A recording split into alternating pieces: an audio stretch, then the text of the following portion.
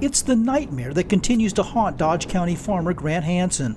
He fears the destruction caused by floodwaters when a dike along the Platte River near Ames, breached just a few weeks ago, could all happen again. I'm scared to death.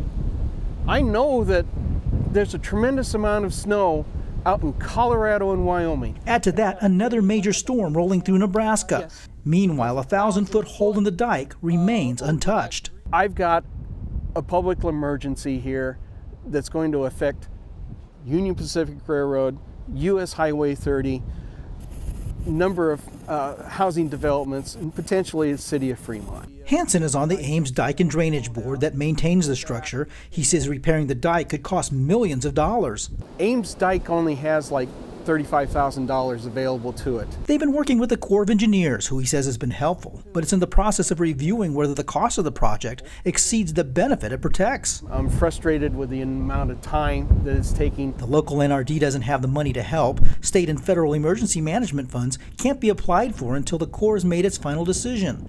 A spokesperson for the Corps said they are fully aware of the difficulties some of the local boards are facing, but they have to follow their procedures. They have already done emergency repairs on two levees on the Platte River and given technical assistance on a third. Every day that clock keeps ticking. But looking at all the damage already caused, Hansen is trying to be patient. It's a loaded gun, it's a ticking time bomb waiting to go off. Near Ames, Andrew Ozaki, KETV News Watch 7.